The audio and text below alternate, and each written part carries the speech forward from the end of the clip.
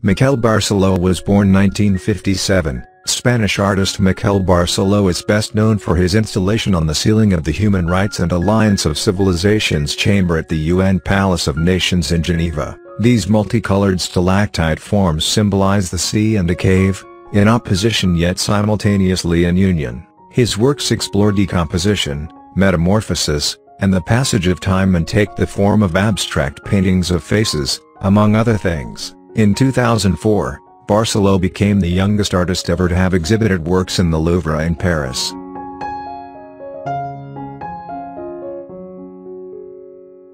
Thank you.